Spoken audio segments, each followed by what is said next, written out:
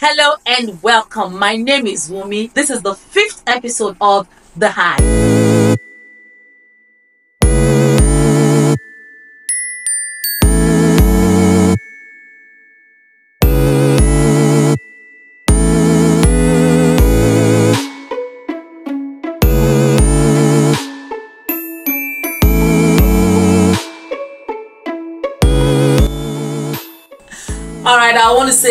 I am deeply sorry we couldn't drop an episode last week Friday. It was due to circumstances beyond our control. But yes, we're back now. We're back with another story of another single mom on the hive. Today our topic says how dating a married man left me a single mom. Don't go away. We'll be right back. Hi Debs. My story is a cautionary tale about love and betrayal. It all began at a lively party where I met W. Our chemistry was instant and electric, sparking a connection that felt undeniable. My excitement quickly turned to heartbreak when I discovered W was married. He confided in me about his marital struggles, assuring me he would soon leave his wife. Initially, I was skeptical, having heard such stories end in disappointment many times before. But W's persistence and action soon eroded my doubts. He introduced me to some of his family members and even went as far as asking me to get pregnant, claiming it was a family tradition for the future wife to be expecting before marriage. Wow.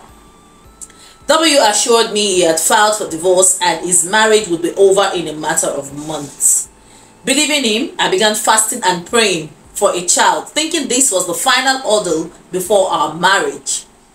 Throughout this period, W visited me daily, sometimes staying overnight. Our time together painted a picture of a man torn between duty and love, always citing his children as the reason he had to return home.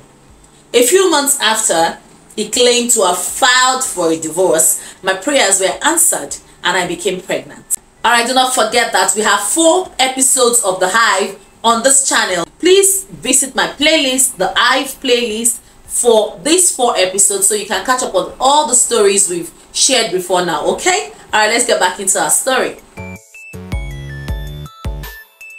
However my joy was shattered when i learned at four months pregnancy that w was having a naming ceremony for his wife who had just given birth to a baby boy. The scene of their celebration played vividly in my head a cruel juxtaposition to my solitary pregnancy. Mm. I was devastated and confused about how his divorce plans turned into having another child.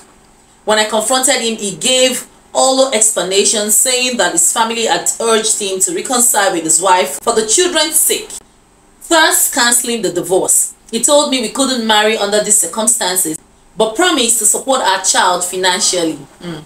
His betrayal left me shattered and I felt utterly foolish for trusting him. When our baby was born, W was absent for both the delivery and the christening. Each milestone passed without him, cementing my resolve that it was nothing more than a ghost of the past. He initially sent money but soon stopped responding to my calls and eventually disappeared. Even the family members he introduced me to advised me to move on. Now my daughter is 12 and have kept the truth about her father from her. To me, he is as good as dead. His deceit serves as a harsh lesson on trust and the importance of self-preservation.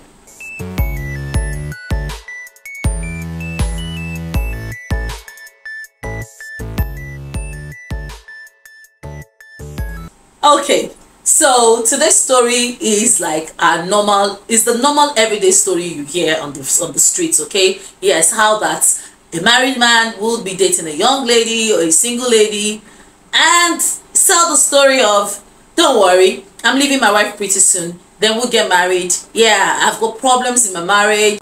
I'm tired of the woman. I'm tired of the marriage. And then soon you realize you've been in that relationship for five years, six years. Nothing seems to change. Okay. All right. Now, being, I'm not here to um, throw stones. I'm not here to judge anyone. Okay. I am unconcerned about whoever anyone tries to date. In this case, I'm more concerned about how much ladies, women, trust married men in scenarios like this. What went wrong? What went wrong is you believing that a man who is still in his home would one day leave his wife. I think that the proper journey through this is for him to leave the wife first and then you can talk about marriage. If he has not left his wife, what you have with him is just a relationship and nothing more.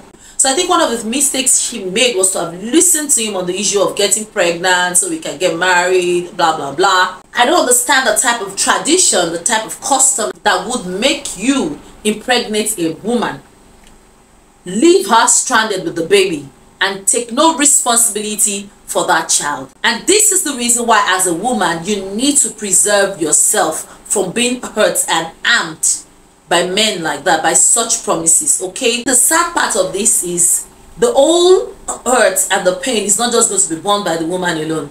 That child is going to come into this world and she will, she will keep wondering, where is my father? What happened to my father? A tale that you as a mother, you're not ready to tell. Unfortunately, I don't think you can run too far away from it. One day you have to tell her who her father is and what went down. Okay, you, that's an information that you cannot keep away from her forever, unfortunately all right? So i think as as women men eh, anyone in a relationship we need to learn self-preservation. Preserve yourself from harm by picking on the red flags immediately. He's still with his with his wife. He goes on to his to his to his family under the guise of oh the children. Meaning that that home is still as important as you might you can imagine. Then another mistake that we make as women is to think that the moment a man introduces you to his family members or some of his family members, that means he's serious and he's genuine. My goodness, darling, don't be deceived. I've seen introduction. I mean, people who have done introduction and then those relationships break eventually. So choose your struggle and choose your battle wisely. If you want to have a child for a man fine that's cool if it's cool with you. But do not do it just because a man is saying do it so that you can get married. No. That's a very wrong narrative a very wrong reason to ask a woman to get pregnant for you I can imagine all the woman had to go through fasting, pray just so she could get pregnant for a man who has no intentions of marrying her because it's obvious he was still sleeping with his wife while asking her to get pregnant for him. They never had issues. They never, I mean, so we need to seek proof. That's what I'm saying. You want to be with a man, you want to be with a married man, you need proof.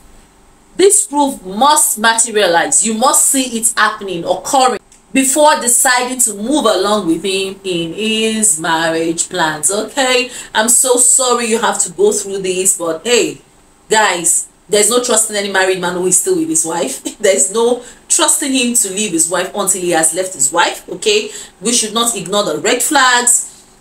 Stop relying on fake promises. If he wants to do it let him do it then you come then he comes back for you yeah that's the order of things. I file for his divorce do all that needs to be done and come back and get you like the real way it should be. If that's not happening you're just in a relationship a fun relationship with him and nothing more okay? I don't know. It, even if it's serious it's not the real deal. It's not marriage on it until it's marriage. Yeah that's just what I'm, what I'm saying.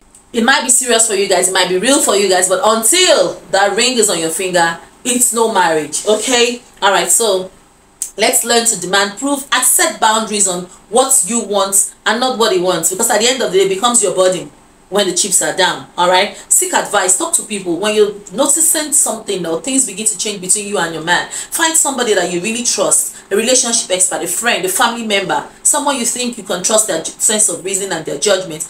Confide in them and seek their opinion and do not throw or brush aside whatever uh, opinion they have concerning your relationship. Most of the time 70% of the time they are always correct. And most importantly people ladies everyone out there single moms out there protect yourself. Self-preservation protect your self-interest is very important.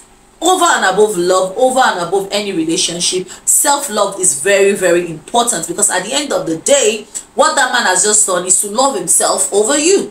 Okay? All right? That's it for today on the hive okay? Do not forget that you could share your story with us someone out there needs to hear your story for that for them to make the right decision. So you just might be helping someone by dropping your story. All right we have our email address scrolling on screen right now debscornerng at gmail.com yay! I got it correctly this time. debscornerng at gmail.com send your story to debscornerng at gmail.com we'll read your story. We'll share insights into your story with people. And we know that people's lives are being changed this moment. Just listening to this program okay? Thank you so much for sticking with us so far. Thank you. I'm so sorry we didn't drop an episode last week. We promise to always keep you up to date and not to miss any episode anymore. My name is Wumi. Remember i love you all. Bye